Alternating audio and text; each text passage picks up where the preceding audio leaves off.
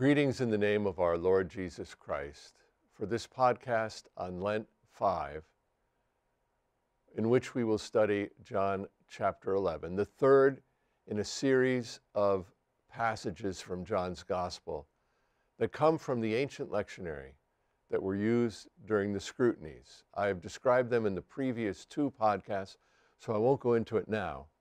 But this John chapter 11, the raising of Lazarus, is a wonderful climax to those scrutinies and an anticipation of what will be coming in the celebration of Easter in a few short weeks. To begin with, I'd like you to consider starting your, your sermon with John chapter 5, verses 25 and 28. Because here we see an anticipation of what will take place on the last day, an anticipation of what we see here in the raising of Lazarus, and an anticipation of what we see in the resurrection of Jesus. Let me just read those two passages from you. Verse 25 reads Truly, truly, I say to you, an hour is coming and now is when the dead shall hear the voice of the Son of God, and those who hear shall live. Now, that is exactly what happens with Lazarus. And then Jesus says, three verses later, Do not marvel at this, for an hour is coming in which all who are in the tombs shall hear his voice. So I highly recommend that you begin here by, by in your introduction, using John chapter 5 verses 25 and 28 to anticipate not just this text, but Easter and the, the, the resurrection of all flesh. Now, titles are very important here. Lord is used eight times. Jesus is used by the evangelist in the, in the narrative itself 17 times. The Son of God is used twice. And he is also called rabbi, as he was in the previous passage. He is the I am, the resurrection of, and the life. He is described as the Christ, and he is also described as a teacher. Now, these are, are huge. And I mean, if you think about, you know, the, the, the, the title of Son of God and Christ, and another one of the I ams, Rabbi and Teacher are the same. And then, of course, the Lord Jesus, these are common titles of Jesus in the narrative. I mean, you, you really have almost every title that you, that you, that you um, might think is of significance. The only one that is not here that was in the previous two is, is the, the fact that he is called a prophet. Now, what, what, what I also want to point out is this that there is, I think, here a, a wonderful sense of what Irenaeus says that man fully alive, which is what happens to Lazarus in the resurrection, is the glory of God. And that is really, in a sense, the whole point of the New Testament and the new creation. And what we see here in this resurrection is the, the, the goal of his passion, and that the glory of God is in the passion because it shows that he is the master of death, and in his resurrection, that he is the master of life. And that the glory of God in Christ, in passion, and then in resurrection, is the glory of Christians. And I think that there is a strong statement here about the Eucharist, where the Eucharist is the pledge of the resurrection, where the blood that we drink is the blood of the life of the Son of God. Now, of course, the context here is that Jesus is very close to his death. That Jesus, in his obedience and dependence upon the Father, has the authority to give life to whom he wills, and he wills to do it here with Lazarus. Now, let's take an overview of the text here. And it, it is not, it doesn't have as many sections as the one we looked at last week.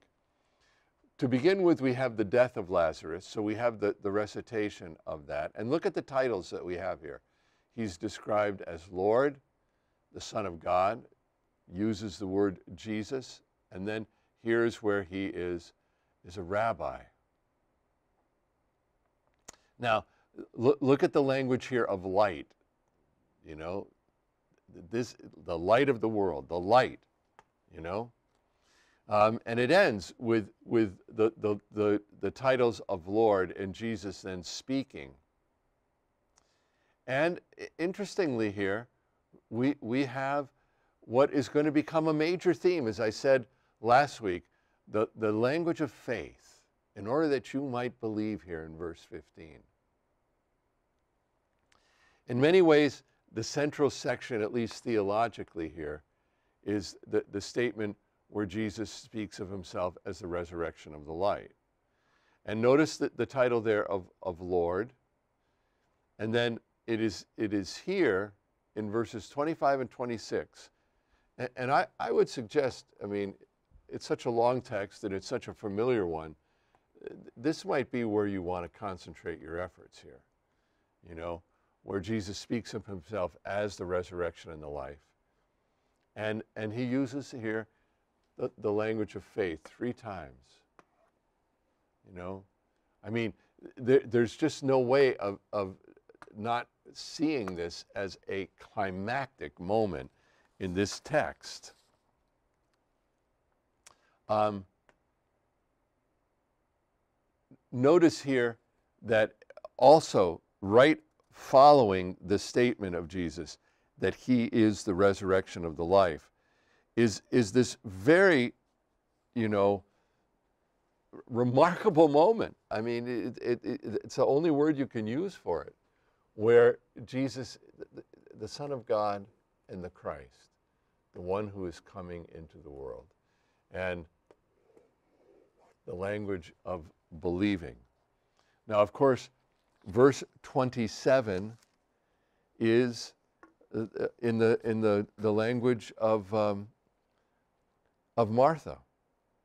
And, and Martha is the one who is making this confession, and she gets it. And no, notice how close we are to Jerusalem, that it is a, it is a, a confession that, you know, is a, a wonderful anticipation of what we're going to see happening in Jerusalem. So, after this section of the resurrection of life, we have that filled with pathos, where, where we see Jesus weeping. And, and of course, he's joining the others who are weeping. And it's here that he is described as the teacher. And again, at the very end, he is called Lord. Okay? And the, the language, you know, uh, of the tomb is there in verse 31. Um, and uh, what I find to re be remarkable at, at, the, the very end of this section where we find Jesus weeping is an echo of what we heard in John chapter 9, that refrain we saw over and over again.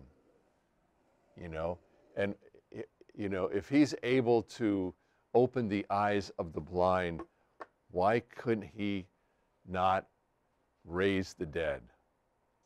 It, it's amazing. This, this here is the connection to John 9. And you can see the progression here. Eyes are open, and now the dead are raised. Now, obviously, one is, in a sense, greater than the other but they are part of the reality that Jesus is the creator who has come to his creation to make all things new. It's a, it's a, it's a remarkable moment that, that you should have here in this text, and we're, we're really at the end of the text, um, or getting to the end, that you would have this affirmation in John 11 of John 9 and what we saw in the opening uh, of the eyes of the blind man. Then the miracle itself. And, you know, this is such an extraordinary story, and it's told in such an extraordinary way, you know. Um, and, and you can see here that, that um, the, the, way it's set up, you know, he's been in the, the grave four days, he's going to smell. That's here in verse 39, you know. Uh, Jesus, you know, brings up the, the language of faith again here. And, and why does he bring up the language of faith? He brings up the language of faith so that they might see the glory of God. Remember, I talked about the glory of God before? Now, obviously, it is a sign of the resurrection, but the, the resurrection is only because there is a death. And as you know, the great theme of John's gospel is that the glory of God is in the crucifixion of Jesus. And then you've, you've got the prayer here. And if you're just looking for one place to focus, you might want to just focus on this prayer along with the statement that he is the resurrection and the life, you know. Um, I don't think it's a coincidence that in, in 41 there, Jesus, as he begins the prayer, raises his eyes, you know. And, you know, Father, I, I, I am giving Eucharist here, you know, because you've heard me. There's the language of hearing. Okay, this goes back to the to the previous text where we saw that language where the, the blind man says, Don't you hear me? I mean, and it's hearing the Christ. And the Pharisees didn't hear the Christ. And so their eyes are still blind, you know. And and you know, verse verse 42 is is really so important when, when he says, I knew that thou hearest me always, but because of the people standing around, I said it, that they may believe that you sent me. Now, remember back the works of God, of the one who sent him. This is, this, this is the great work of God, his, his death and resurrection. And, you know, you, you, you can't hear the language of thanksgiving here without thinking of the, the, the language of, of the Lord's Supper. And, and I don't in any way want to suggest that this is a connection, you know, that this is, in a sense, you know, an anticipation of the Eucharist. But what do we give thanks for in the Eucharist? For the body and blood of He who is doing the works of God, which is the, the cross and the resurrection. And we come believing that that is what we receive. Now, of course, the, the miracle comes when Jesus cries, Lazarus, come out, you know? And what a remarkable moment that is right there. That, there's the great, the great miracle. And, and, and I, I put in blue here because it, it is, uh, again, John is being so explicit here about what th- this man looks like in verse 44, you know. He's bound hand and foot with wrappings all over. His face is wrapped with a cloth and, and the, the simple command to unbind him and let him go. I mean, it, it, it, it's such a story to tell. And, and I think in many ways, just telling this story and interpreting it as you do is enough. Um, this isn't part of the text. Um, it, it, goes to 53. Um, the, the, only verse that is included in the shorter version is, is verse 45. And I, and I, you know, I think that that is something that you should consider uh, maybe stopping there. I mean, th- that, would, that would be, you know, enough, you know, and, you know, th- therefore many of the Jews, and, you can see here in, in 45, um, the, this is the crowd that was with Mary and Martha. Um, they, they were beholding this and they believed. So you, you end with the, the language of belief. But if you want to go on, and, and, it's, it's, you know, I mean, it's, you, you have to make some choices here about how much of this text and what part of this text you want to preach on. So, some of you may just choose to preach on this, and I, you know, I wouldn't blame you. Um, the, the, core to this text, obviously, is um, the language here of uh, Caiaphas. And um, it, it is some of the most cited passages in uh, John's gospel. Here's Caiaphas, the high priest, you know, And um, he, he is the one who makes that extraordinary statement that it is, it is absolutely important for one man perhaps to perish for the, the people instead of the whole nation perish. And um, of course, um, in verse 51, uh, he, it, it, this is the evangelist saying he did not do this on, you know, off for himself, you know, but being the high priest that year, he prophesied. And, and here, in, in many ways, is, is the interpretation of, of the whole text here. And, and maybe anticipates what we're going to be experiencing next week on Palm Sunday. Uh, 52, uh, 51b um, and 52. And this is John. John's interpreting for us that Jesus was going to die, and here's the atonement on behalf of the nation, the nations, really. And, and then it says, and this, this qualification, you know, that is, and not for the nation only, but so that he might gather together the children of God, the ones who were scattered, gather them together. Soon that's where the word synagogue comes from, into one. And that is, unity is the great theme of John's gospel. Now, let me close by suggesting this. I, I, I was going to go through, go back and go through the whole text again, but I, my, my time is, is coming to an end here. Let, let me just suggest this. Um, if you have been pre preaching on these three texts as the scrutinies, and, and we're, we're talking now about how they were directed in their original early Christian context to unbaptized, to uncover any kind of shame that would keep them from, you know, wanting to enter into the presence of God in baptism and the Lord's Supper because of their unworthiness, because of their uncleanness, because of their pollution.